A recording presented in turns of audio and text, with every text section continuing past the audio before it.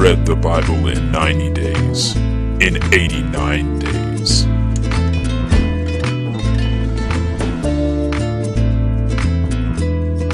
His staff meetings have been known to last as long as 18 hours.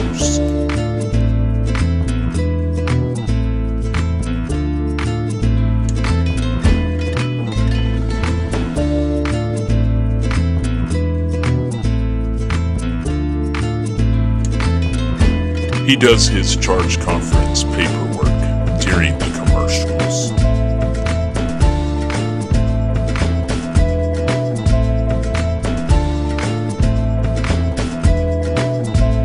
I don't always preach well, but when I do, I'm preaching about Jesus, the most radical man in the world.